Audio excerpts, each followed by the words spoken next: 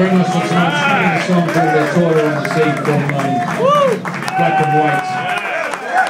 Uh,